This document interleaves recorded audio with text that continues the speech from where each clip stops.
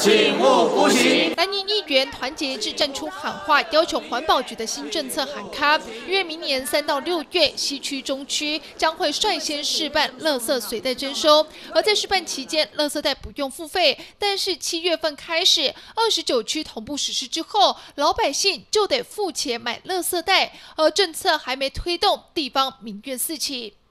他们觉得我家里垃圾袋这么多，你叫我丢垃圾，还要去买你们的垃圾带来丢，那不是抢我的钱吗？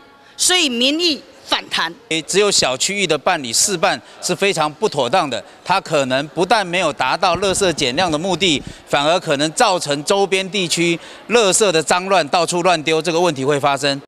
现在随水费用量征收，未来追随北市跟新北市的脚步，垃圾随袋征收。环保局表示，新政策上路可以达到公平以及约制民众制造垃圾量。而台中的专用垃圾袋价格又是优于其他两都，民众的荷包会更省，不会造成负担。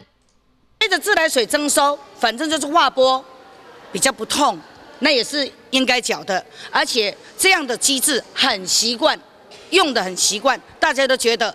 它的习惯的后，实际算起来比用水水袋比用比水自来水负责还便宜，超可以便宜超四成左右。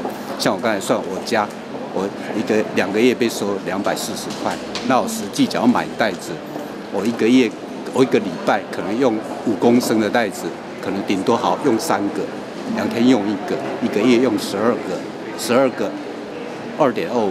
二二点二五块乘以十二，也超三十块而已。新政策将上路，蓝营议员一致反对，点出一项又一项的政策疏失，相关的推动细节还没有正式定案。市长要求环保局要听取民意再沟通，让政策的推动能更尽善尽美。记者林家话台中采访到。